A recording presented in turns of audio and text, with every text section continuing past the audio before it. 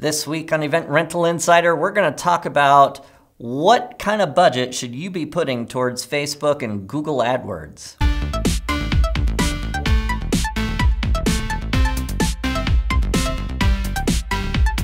All right, I'm going to date myself a little bit today. When I got into this rental industry, the place to advertise was actually in the Yellow Pages. Now, Yellow Pages, using our software, we tracked and one year I did $100,000 in sales, and the next year I did $20,000 in sales directly from the Yellow Pages. And that was the point at which I realized it was time to stop Yellow Pages. But where do you put your money?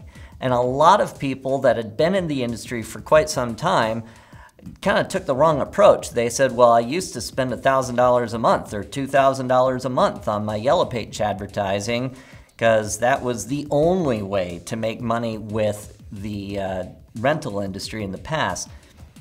Now, a lot of people say, well, I'm just going to cut that off and save the money.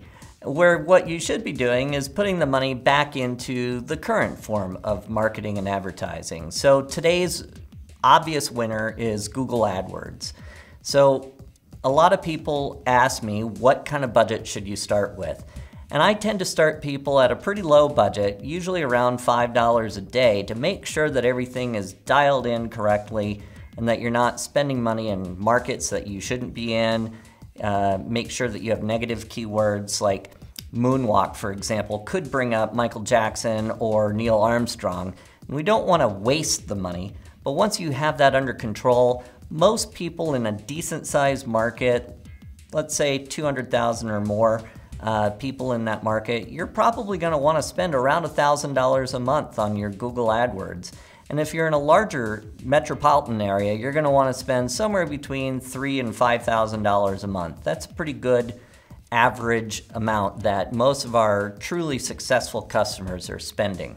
And I know that a lot of people view that as a big expense. Well, here's my philosophy on that. It's only an expense if it doesn't bring you in more money. If it's bringing in more money, it's called an investment. So make sure that you're investing, use the right uh, code snippets that tell you that you're getting true factual conversions from your advertising, and then you're just gonna make more money for every dollar that you spend. Now, one more quick tip is something that we call retargeting, and that can be done with Facebook. Um, it can be done with quite a few different platforms actually, but Facebook is a great way to keep your advertising dollars working for you. So you've paid a fair amount of money with Google AdWords getting people to your site, and what Facebook retargeting does is it allows you to stay in front of those customers for X number of weeks or months later um, in advertising when they're browsing around on the web. There's, those advertisements will pop up in front of them. So look into that. Facebook retargeting is much less expensive. Maybe around $100 can, a month can get you going.